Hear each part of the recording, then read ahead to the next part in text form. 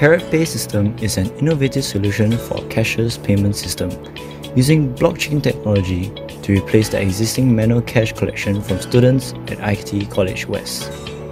Students with good behavior are recognized and awarded with digital currency using blockchain, a tamper-proof technology, which they can transact at Creamer for food items.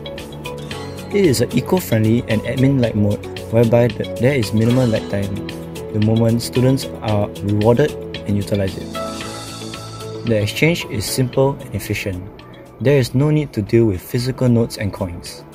By adopting blockchain technology into CarrotPay system, transactions will be more secure and reliable for students using this cashless